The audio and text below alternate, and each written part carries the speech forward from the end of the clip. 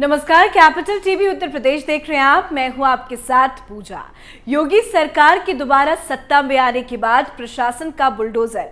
लगातार गरज रहा है। शहर शहर भूमाफियाओं और अवैध अतिक्रमण के खिलाफ कार्रवाई की जा रही है।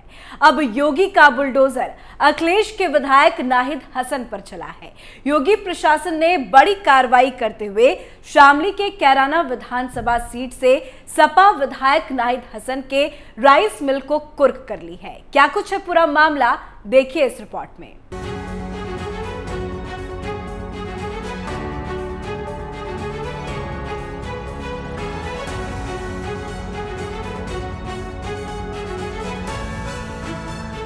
शहर शहर गरज रहा है योगी का बुलडोजर।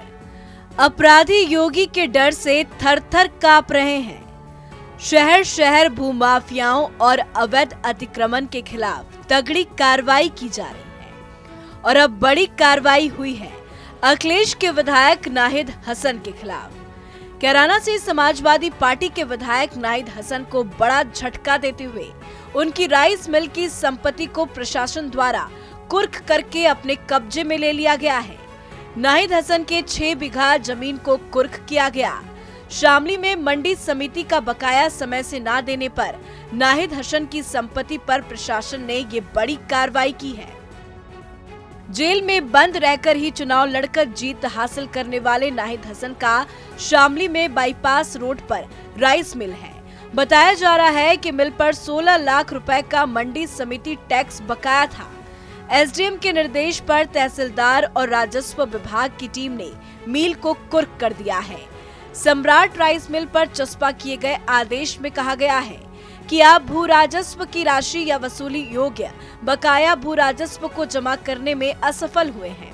इसलिए सूचित किया जाता है कि संपत्ति जब्त कर ली गई है और आपको आगे से संपत्ति के हस्तांतरण, बिक्री, दान से रोका जाता है। अन्य व्यक्तियों को भी उक्त संपत्ति की बिक्री, दान या अन्य रूप में प्राप्त करने से रोका जाता है।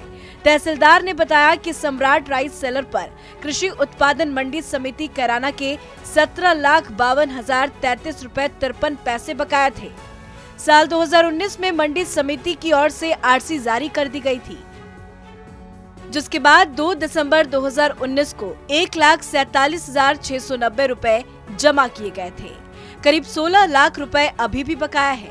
सम्राट राइस सेलर में विधायक चौधरी नाइद हसन के पिता, मुनव्वर हसन, चाचा सरवर हसन और साझेदार शहजाद के नाम शामिल हैं।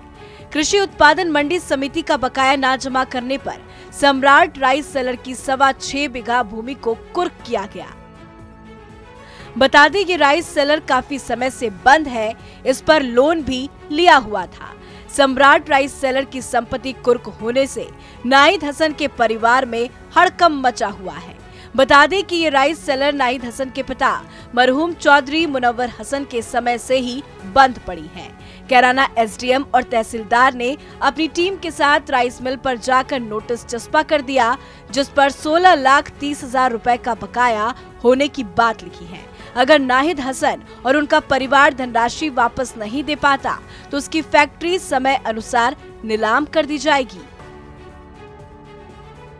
तो उत्तर प्रदेश के कैराना से समाजवादी पार्टी के विधायक चौधरी नाहिद हसन की मुश्किलें कम होने का नाम नहीं ले रही।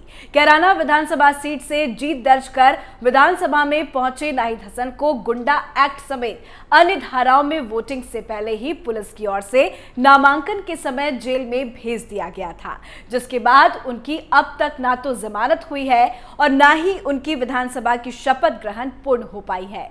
और अब योगी प्रशासन की तरफ़ से ये बड़ी कार्रवाई हुई है। इस खबर में फ़िलहाल इतना ही। तमाम खबरों के लिए देखते रहिए कैपिटल टीवी उत्तर प्रदेश। नमस्कार।